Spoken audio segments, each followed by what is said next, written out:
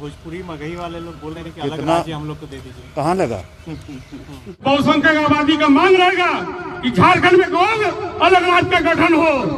हम लोग एक और राज्य का जो कि गठन चाहते हैं जैसे मॉरिशस बना भोजपुरी के लिए अन्य भाषा के लिए उसी तरह राज्य में भी हम चाहते हैं कि बिहारियों के सम्मान के लिए एक और राज्य का गठन हो झारखंड में। कहाँ लगा? वो लोग से। कहाँ लगा? कौन जिला लगा? वहीं दे देंगे हम लोग। पलामू वगैरह। कहाँ? उन्हें वो अपना क्षेत्रफल बनावे ना। कहाँ लगा? हमको भी बिहार में हिस्सा चाहिए। खाली हमरे ही हिस्सा लगा। आपको कौन सा पसंद है? इधर कौन सा? है? मेरा मेरा जमुई ही बगल में। है। भागलपुर में आदिवासी लोग हैं। पूर्णिया का मंत्री जी पूर्ण मंत्री जी ये जो आप मज़ाक में जो बोल रहे हैं ये चूँकि आप माफ़ी चाहेंगे।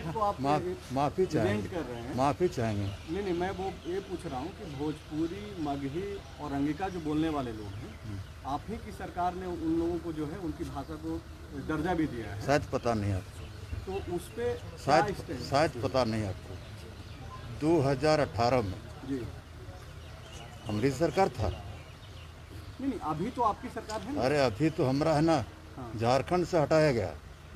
झारखंड में नहीं है। अभी सिर्फ़ एक दो जिला में रहा है। तो भाजपा भी आपका सपोर्ट कर रही है। तो कर रहा है तो हो जाएगा। पहले कान कर रहा था। अगले सत्र में पोस्टर देखे थे।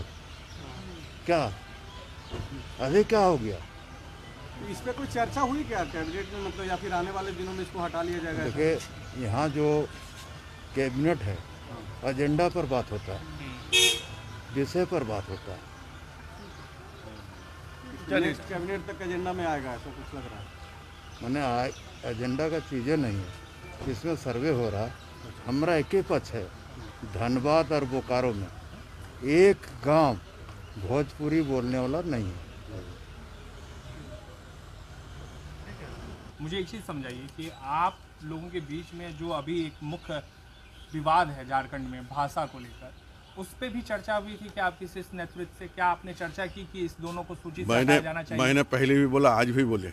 बहुत सारी। बहुत सारी बात ऐसी होती हैं जो। आपके सामने नहीं रख सकते। और ना आपको बताने के लिए हम बात